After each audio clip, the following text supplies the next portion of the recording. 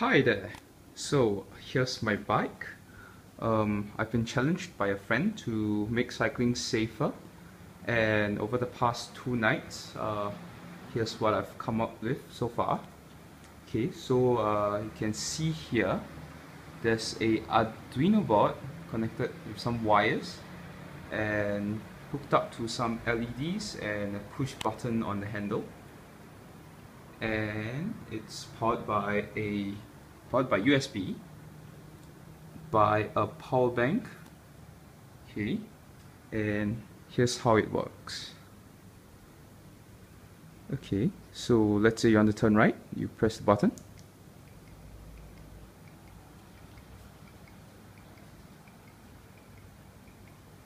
And the LED at the back and at the front will light up on the right side.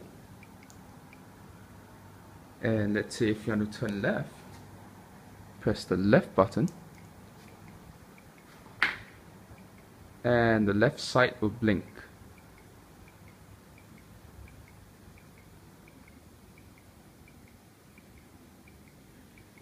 Okay.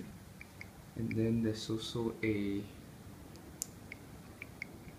speaker right at the breadboard to give you an audio feedback just like in the car. Okay. And the timer will uh, sorry the the signal the turn signal will auto timer after 20 blinks or when the user presses any button. So let's say let's turn right okay it blinks I press it again. Stop blinking. Okay let's do it again. So cancel signal. And turn right. And I can cancel the signal with left button. So left. Cancel signal. Left.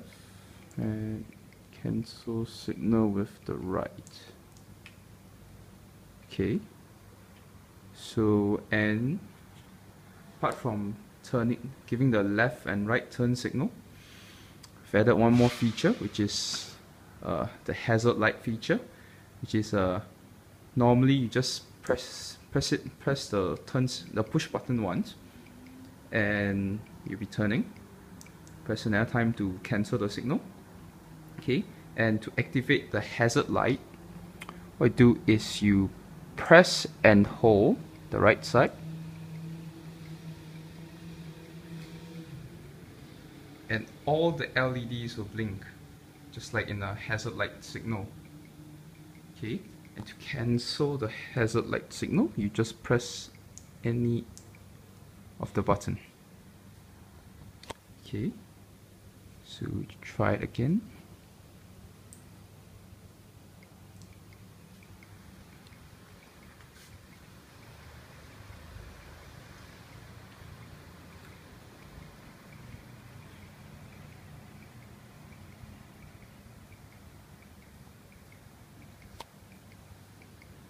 okay cancel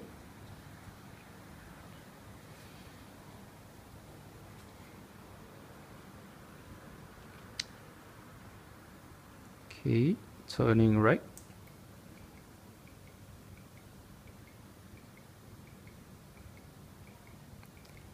Cancel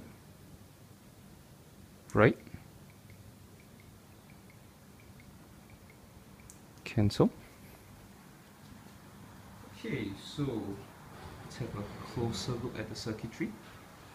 It's powered by an Arduino Uno board uh, connected to a breadboard with a speaker right in the middle and the board is powered by a power bank and attached to it is a power meter.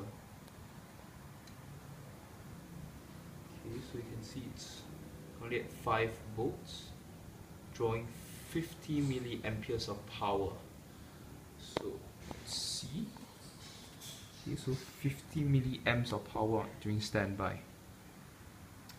So let's see when the signal is activated, how much power it draws.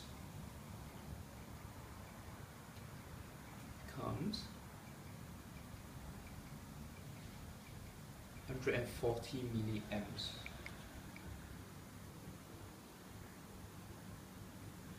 Okay, and let's activate the hazard light.